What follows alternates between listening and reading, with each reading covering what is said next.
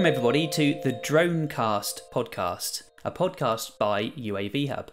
So, today is uh, a special episode, a bonus episode, uh, if you will, and uh, essentially we're going to talk about uh, the new Parrot Anafi AI. So, uh, not uh, a proper episode, I suppose. This is just a quick sort of update or an off the cuff episode, I suppose, really. And we're just going to have a bit of a talk about this new aircraft. It was released yesterday which was the uh, the 30th of June. And uh, we've got, uh, as always, uh, Adam and Matthew in the studio today, and we're going to just talk through the specs and uh, just kind of unpack exactly what was released, I suppose. So uh, hopefully, again, you'll find all of this information useful. And yeah, so the first thing to talk about, I guess, is is the name. So it's Parrot Anafi AI. So quite an interesting one. They've stuck with the Anafi name and they've obviously gone with AI. So not really 100% sure why they've gone the AI route potentially with, with that name, but I guess we'll have a, uh, a bit of a chat about that side of things. And uh, I guess, uh, yeah, anyone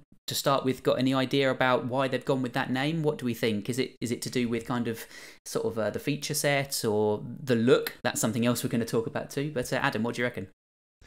I mean, obviously, AI, it's got to be artificial intelligence, um, which I think is one of the, probably the big things about this particular new drone. It's the fact that it looks like they're going heavy on the automation front, or at least allowing you as the user to program in your own uh, your own automation. So I ah. think that's probably mm. more more why it's, it's AI, it's artificial intelligence. I see. So focusing maybe slightly less on the user, more of the, the feature sets of the drone and letting it do more of the work, I suppose, really, which again is always useful, isn't it? Yeah. Uh, Matthew, your first thoughts? We'll move on to the style, I think, uh, on uh, sort of in the next uh, couple of minutes. But what do you reckon about the uh, sort of the name side of things leading on to that? What do you think?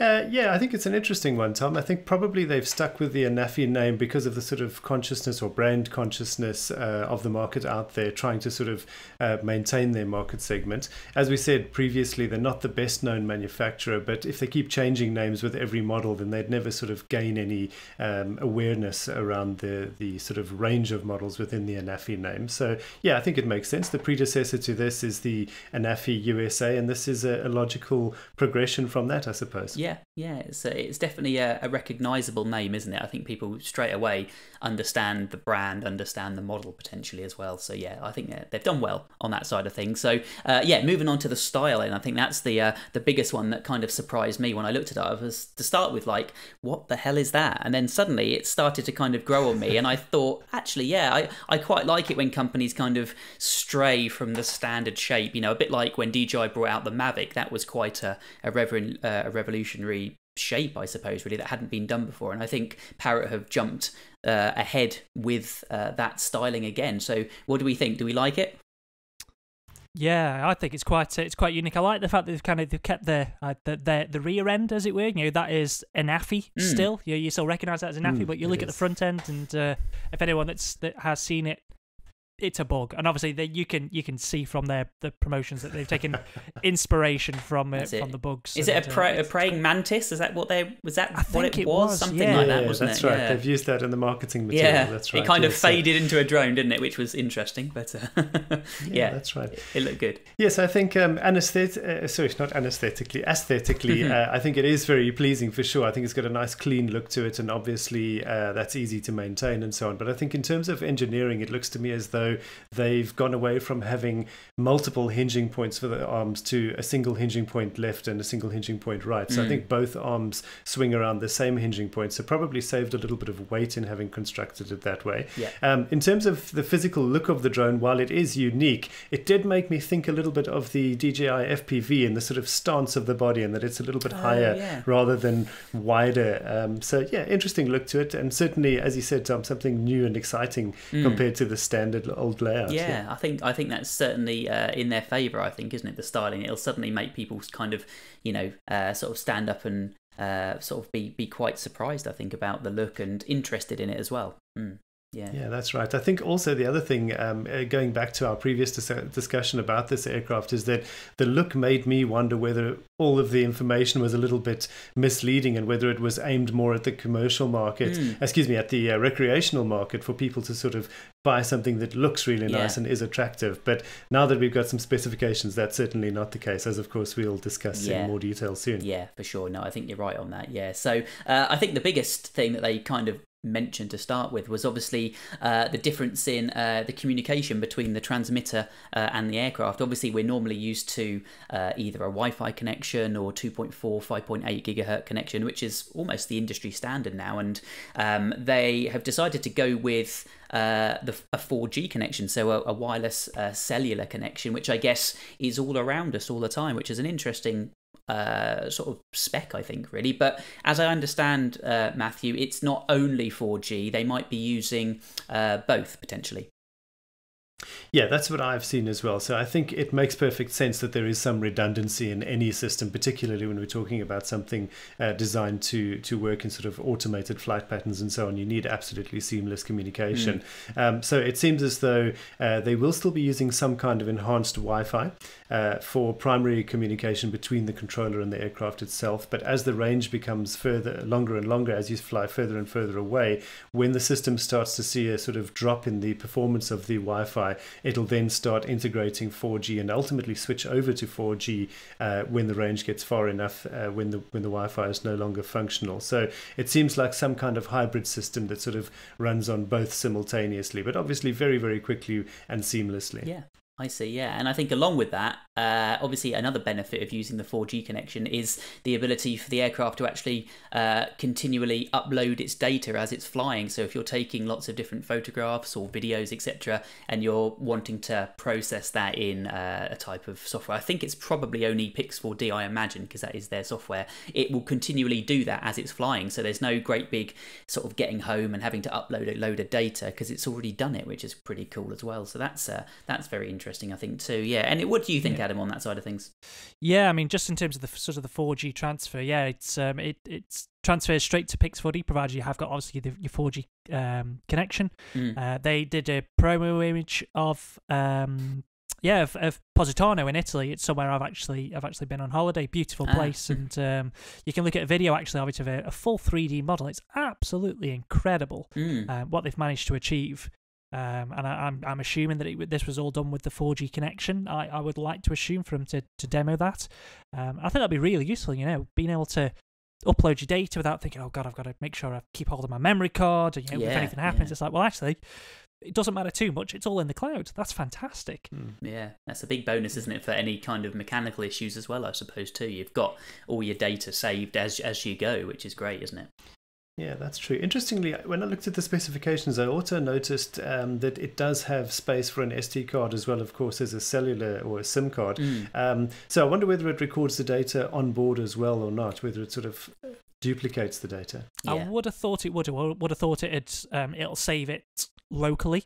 Yeah. And then upload said files to the cloud rather than because it, ha- it will have to save it somewhere for it to give it chance to upload. So yeah, it'll it'll save Fair it locally. enough. Yeah. I see. Ah, so that clarifies that then. Yeah. Yeah, and I guess while we're sort of on this subject, I think it's probably worth mentioning uh, the fact that they were talking about uh, obviously the range of the aircraft, and I guess in theory uh, it's now unlimited. I suppose you know the only limitation now on your connection quality is actually um, how much battery you've got left to actually get the aircraft back again, which is a great selling point. You know, quite a good thing to kind of you know uh, sort of boast about, I suppose, really. But again, not overly useful in certainly this country, I guess.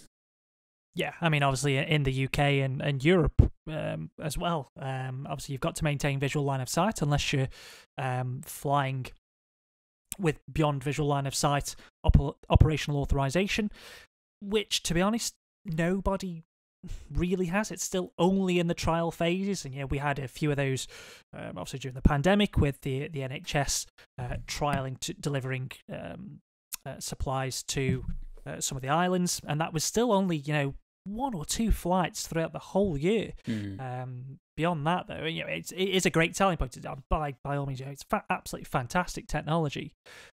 But from your average, well, perhaps not your average Joe, but most companies won't perhaps won't realize that yes, you, you know this has the capability of going out as far as you can get a 4G connection, which you know again depends on where you are in the country. You know, some places you might not get 4G, um, but you know, provided you have got a wide 4G coverage, practically from regulation point of view, you can't do it No. unless you've got those permissions. But nobody really has. No, it's interesting. I think it's a good thing, kind of, again, like I say, to boast about or to future proof the aircraft. I guess that's going to be quite relevant potentially in the future, but no, at the moment, I suppose, no, not overly relevant uh, for what we're doing. So, uh, Yeah. brilliant. I so, mean, I mean, I mean, from a safety point of view, I suppose if you take away the beyond visual line of sight or extended visual line of sight point of view, it's still great though that even if you keep it within visual line of sight and you, you know, as we've said, you know, your Wi-Fi drops out, mm, provided there is a 4G connection, you've still got connection. So it's Yeah. actually quite nice because it adds an extra layer of redundancy to your aircraft, yeah, which true. most other aircraft, you know, DJI aircraft, don't have. No, no, that's it. No, it's a definite bonus, I think, there too. So that's interesting. Um, okay, brilliant. So let's uh, move on. We've got quite a few little bits to talk about here, so we won't uh, spend too long on each one. Uh, but the next thing that I thought was quite interesting was uh, obviously the gimbal placement. I think that looked pretty cool and quite interesting, but also something that's very new. Uh, that I don't think has been done before at all is the uh, the collision avoidance sensors. Rather than kind of plastering them all around the aircraft, uh, not mentioning any names, uh, but they only seem to have uh, a couple Do you, do you mean the name, Tom? uh, the name, yeah, I should probably say that. uh, yeah, they've actually got them mounted uh, kind of on the same gimbal and they can actually move uh, independently of the camera. Uh, that's very interesting. Matthew, what do you reckon?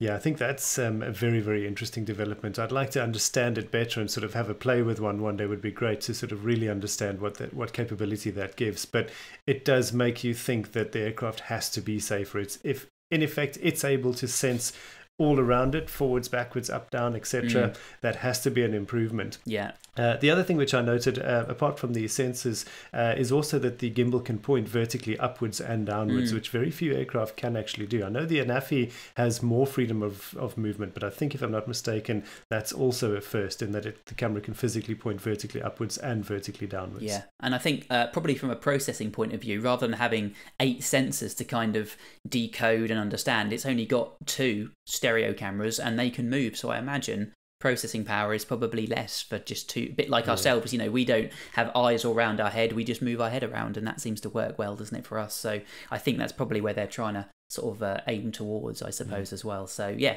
that'll be interesting to try that. It perhaps depends on the lenses. When you know if they are full fisheye lenses, you know, just Mm. having those two, uh, you know, if it has full, almost full coverage because it is fisheye, Yeah, yeah. um, that might be why it saves it. Mm. I, I say I haven't, I haven't found those specific details, but No. I, I'm potentially assuming, especially with that whole, you know, the the praying mantis look, you know, Mm. with the two two eyes on the was- side, you know, having that Yeah, whole was- fisheye all around. I was about to say exactly that. It's actually interesting that uh, on their promotional um, information, they literally use the words inspired by nature, and there's the picture of the praying mantis. So I think it's literally that. Perhaps one of the engineers sat there and saw how nature does it and thought, well, that's got to be the most efficient way. Yeah, potentially. Yeah, I, I guess we'll uh, we'll wait and see on that one. Uh, we just need a, a few people to buy them and come and do a flight test, Matthew, and then we can see them, can't we? That's how that's how we normally do it. um, cool. Okay, so uh, we spoke about the camera very briefly. Obviously, uh, the main selling point I think for uh, this particular camera is the 48 megapixel sensor, which is pretty damn big, really. I think for uh, uh, sort of a, a, any camera actually, let alone one on a relatively tiny aircraft. So, um, uh, Adam, you're our resident sort of camera guru. So, what do you think? 48 megapixels will that be usable and good? It'll certainly be sufficient for high quality uh, inspections. I mean, you've got the um, I, again. I haven't I haven't had a chance to sort of delve ha- into how big the actual uh, sensor itself Ah, is. I know, yeah. actually, I've just found it there. So half inch sensor, so not bad, not not bad. You know, it's not your one inch sensor, but half inch sensor. Um, certainly not bad at Hmm, all. Um, okay. It'd be interesting to see whether it is 48 megapixels, um, sort of across the sensor, or whether it's um, you know one of those where it captures you know four images and then stitches them together. Ah, yeah. That kind of way of doing it. Um, I would assume it is a full 48 megapixel um, sensor rather than you say it's Hmm. it's um, uh, taking four and then stitching them together. I don't Yeah. believe it does that. No. Um, but yeah, it should should make some absolutely incredible images. yeah. Um, but really, if you're although saying that, it depends on the price, I suppose, really, of this particular aircraft. You know what? If uh, if it is that you can get another aircraft that's a thousand, two thousand pounds, but this one's four thousand, and it is for photography that you're after, it might not be the one for you. Um, but I'd say certainly if it is the inspection route you're going down, it's it's certainly one to consider. Yeah, yeah, for sure, and that's very similar, I guess, uh, to the other specs of the uh, the sort of the video and the camera, etc., uh, which is uh, the standard of HDR10 as well, which I think is uh, probably a, step in the right direction. I think for a lot of uh, post processing or to make post processing easier, I suppose, as well. Yeah, it's interesting that they're going down the HDR route, especially as it's kind of, I would say, marketed more as um, you know, for doing photogrammetry and for doing potentially inspections. They've mm. they've they've actually tagged on some nice features for those that want to do um, you know nice video capture you know having yeah. that option of doing hdr8 hdr10 uh, you know 14 stops of dynamic range 10 bit color depth it's mm. yeah they've really packed in, packed in some good tech in there for those that do want to capture um, you know beautiful cinematography yeah yeah, no, it does look good. Yeah, and I guess we'll have to just wait for a few uh, bits of footage to come out before we can sort of analyze it, I suppose, really. But uh, no, it all looks like they're heading in the right direction with everything too. And I think they also touched upon uh, faster data capture as well. So again, not a huge amount of information on that, but I think uh, they were just sort of touting how well it can kind of process and how quickly it can capture the data as it's flying as well, which is interesting too. Um, they then moved on to talking about uh, specific uh, APIs, I think, for the aircraft as well, and they showed some quite interesting ones of uh, almost like a specific app that was controlling the aircraft, uh, and it was actually uh, surveying a wind turbine in a specific route, which was quite interesting too. So I think. Like we've mentioned, they are definitely aiming towards that kind of survey contractor sort of area, I think, with that side of things. What do we reckon? Is that kind of what it's aimed? I think that's what it's aimed at, isn't it? Yeah, it certainly must be. I think all of these features that we've been talking about in terms of collision avoidance as well becomes very relevant in those sort of environments. Um, and I think the flexibility of being able to create your own flight paths and so on uh, for that sort of application is something quite unique. I must say, the overall feel of the launch of this drone is that it although on face value doesn't seem that revolutionary, I think every single factor seems to be a step ahead of the competitors in a similar sort of price range and so on. Although, having said that, we'll talk about price just now and we don't have all the information available yet.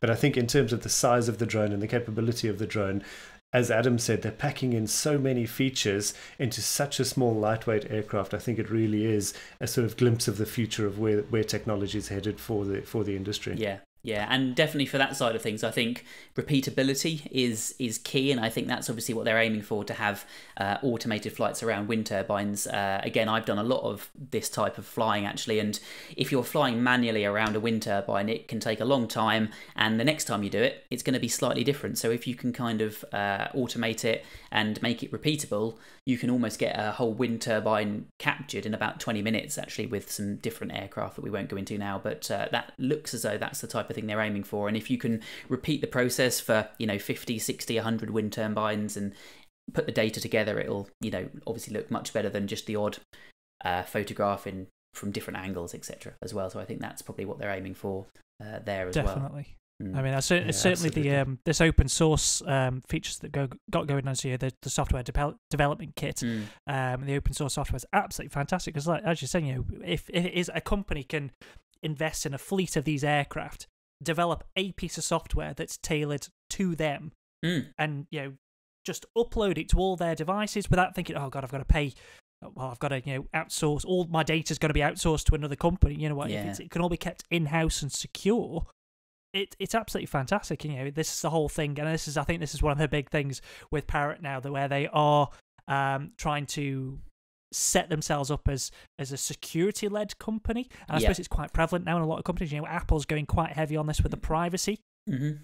Um, you know, trying to separate themselves away from uh, other companies. And I think Parrot's trying to do a very similar thing where they're trying to take it away and say, actually, your data's not going to go to another foreign country.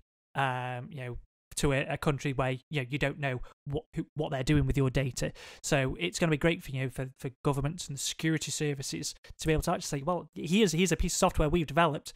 It's not going to anyone else, but we can we can upload it to all our aircraft. Yeah, Yeah, and that leads us quite nicely to the next bit actually about the uh, security and the GDPR. They they actually mentioned that it was DGR, sorry, uh, GDPR compliant, uh, which is obviously a, a massive bonus. And also they've got dedicated chipsets that kind of look after the data and obviously keep it very secure as well, which is great. So yeah, they're definitely focused on that. I think, which is uh, an interesting uh, not idea, I suppose, but an interesting avenue to explore. I guess there must be a, a sort of a, a, an area in the market that hasn't been catered for yet, I suppose.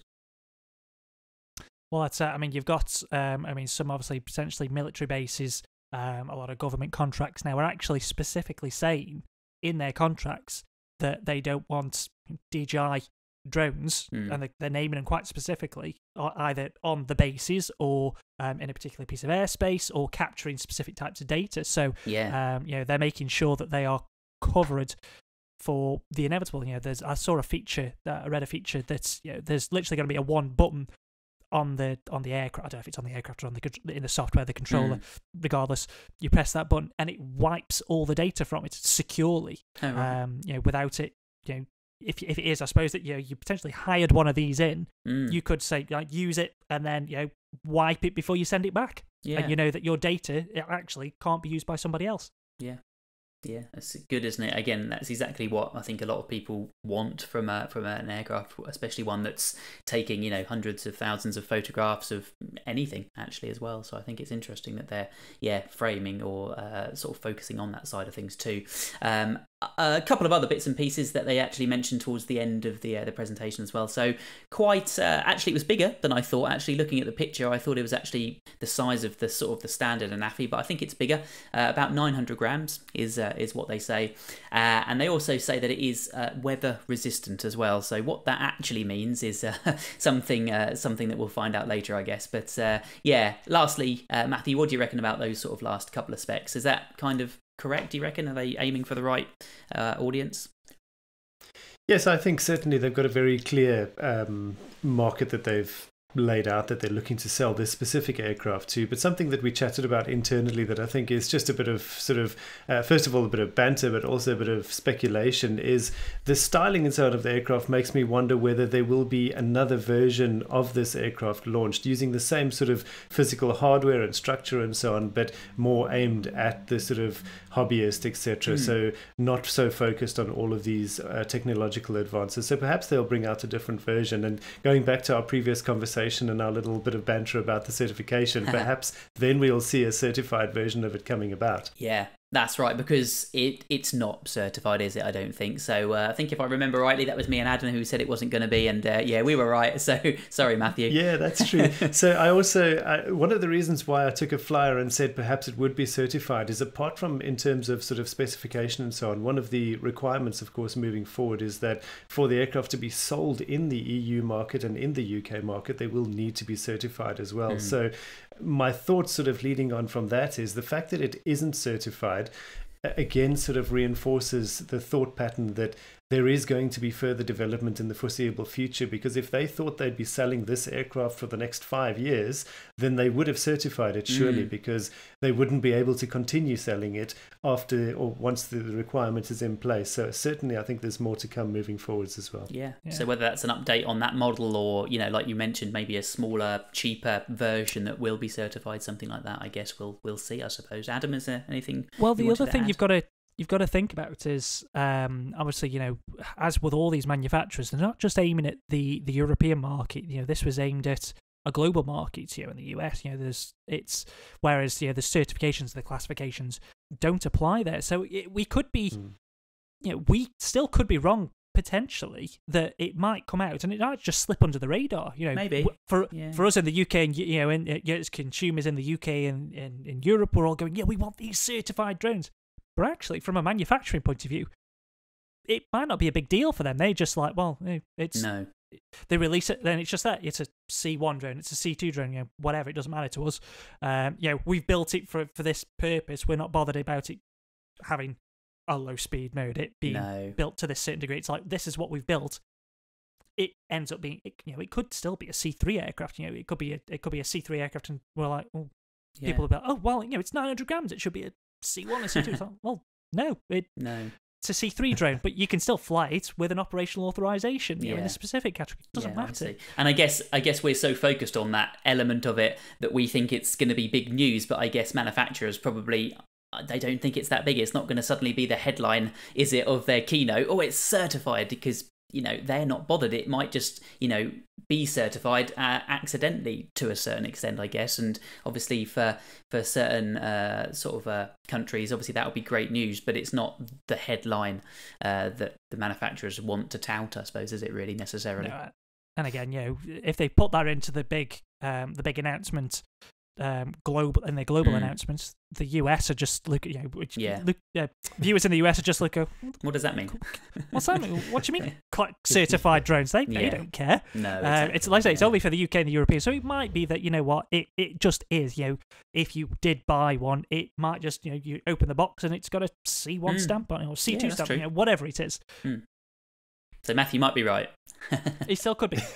Still could be. There's still Yeah. a chance. I- I'll concede on this one for now. Until we see the stamp, it's not certified No, from our perspective. That's it. Yeah, fair enough. So uh, yeah, I think that's uh, pretty much all the uh, stats and uh, statistics talked about there. So on the whole, I think uh, an interesting looking aircraft, more interesting than I thought it was going to be actually. So that's uh, definitely a, a positive. Um, and uh, yeah, I think that's uh, quite a nice place to sort of come to uh, sort of a, a conclusion, I suppose. Really. So uh, anything else? Anything? Uh, anything anyone wants to add at all? Uh, what do you reckon? Yeah, Tom, I think just one thing we haven't mentioned is where people can go and have a look at this information themselves. So they can Ah, head yeah. over to parrot.com. Uh, all of the information is available there, and there's some promotional videos and so on. So, yeah, good to um, be exposed to the latest technology. Well worth having a look. Yeah, yeah, for sure. Brilliant. Yeah. Anything from you, Adam? Have you covered everything you wanted? Yeah, that's pretty much everything. Um, and just a quick one that I've just picked up. Obviously, we say weather re- uh, weather resistant or rain resistant. Hmm. It's uh, it's IPX3. Uh, so the Oh. X means that uh, actually it's not been uh, classified that it's it can withstand dust. I don't know. Oh, the okay. X just ha- means that you know it, we don't know whether it is completely No. sealed up. But the three means that it is. It's got some water resistance from uh, from certain angles. Very much you know the Ah, okay. IP43 that we talk about Ah, on the, on the um on the course on the A2 CofC course. Yeah. Um, whereas the this is like say IPX3, the X being um nothing. Um, the three being yeah. um water falling as a spray at an angle up to 60 degrees from a vertical Oh, from okay. the vertical. So um, you know it, it's perha- it might have been oversold as as weather resistant. It's got some weather Yeah. resistance, so it's but it's I'd say it's not a It's not It's not a- waterproof or anything it's like not that, waterproof. No, that's it. Yeah. So I guess it's of course, of course, that's barely relevant anyway because you can't collect much data in the rain. No. uh, in the best of times. no. People forget about that, don't they? As soon as you get a drop of water on the lens, it's game over, isn't it? Anyway, so yeah, that Yeah. that's it. So brilliant, cool. Okay. Well, anyway, I hope you all uh, enjoyed that little uh, chat about the uh, the Parrot Anafi AI, and uh, yeah, we'll see you uh, again soon for uh, our next proper episode, I suppose. Really. So uh, obviously this is uh, uh, on top of our weekly episodes as well. So um, yeah, we'll uh, look forward to talking to you all soon. And uh, yeah, the only last thing I need to say is uh, uh, fly safe and blue skies, everyone. See you later.